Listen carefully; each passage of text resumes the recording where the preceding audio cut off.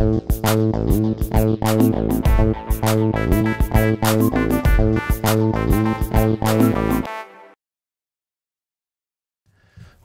one and all, to the ninth episode of the Amiga CD32 review project.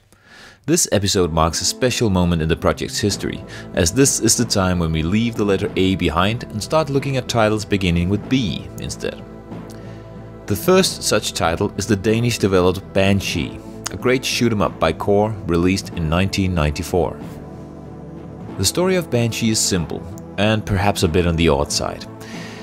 The evil Styx Empire has invaded Earth, but not Earth as we know it. It's more of a steampunk Earth without color TVs and such, and definitely without microwave ovens. For some reason, microwave ovens play a big role in this story. Our protagonist, Sven Svartensvard, builds a plane, the Banshee, and sets out to single-handedly defeat the Styx invaders in order to save the Earth. And to get revenge on the Styx, who apparently killed his father because he refused to invent the before mentioned microwave ovens. Very weird indeed. But who cares? This is a shoot 'em up, so who cares about the story? What the developers and designers of Banshee lacked in the storytelling department, they definitely made up for in coding and graphics. This game is the smoothest thing I've ever played on my CD32. The graphics are exquisite, the controls perfect, the attention to detail impressive, and the sheer number of moving objects on screen at the same time is simply amazing. And this is seemingly all done without losing a single frame. Impressive. This is just the kind of experience you want when playing a shoot 'em up. You control the aforementioned Banshee, and in true shoot 'em up fashion, it's your job to blast everything in front of you into smithereens. Initially, in the first few minutes, you're reminded of the arcade classic 1942, especially because your secondary attack is doing a loop, but the game soon shows that it's much more than just a clone. There's a nice power-up system in play where you pick up power-ups for your shots, speed power-ups, shield repairs, and extra lives and so on and so forth. All in all, there are 15 different power-ups, all usable in different parts of the game.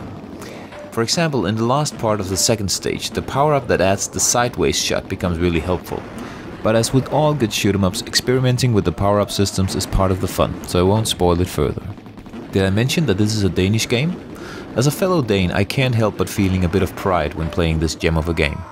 The game was coded by Søren Hannibal and the graphics done by Jakob Andersen. Let's talk about the graphics. The attention to graphical detail is absolutely breathtaking. You have little men running around screaming as you blast them, cranes that you can shoot to make them fall on top of soldiers, polar bears running around in the Arctic level, mothers with baby carriages scuttling for cover in the city areas, you see soldiers running around inside the buildings before they come out to shoot at you, and I could go on. The most amazing thing is that many of these wonderful graphical touches are only used a handful of times, so there always seems to be something new to look at and to be amazed by. The only thing that this game is missing is a proper soundtrack. That would have made it perfect. Don't get me wrong, the sound design in this game is a-okay, but a little music in the stages would have been great. As with any good shoot 'em up, Banshee has its share of epic boss fights. I'll shut up for a moment and let you have a look at a few.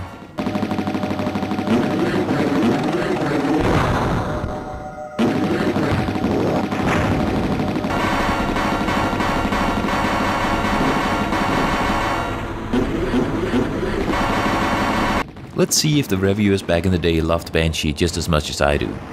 One thing that does bode well in that regard is that the game was ranked as number 39 in the best game of all time list made by Amiga Power in 1996. Amiga Format awarded the game a 90% score, stating that this is a classic shoot 'em up. Sure, we've seen this sort of thing many times before, and inevitably the gameplay can seem a little bit repetitive, but rarely do they look or play as well as this. Banshee breaks no boundaries, it blows them out of the sky. Amiga Power, who awarded the game an 89% score, wrote, The detail of the thing. Well, where do you start?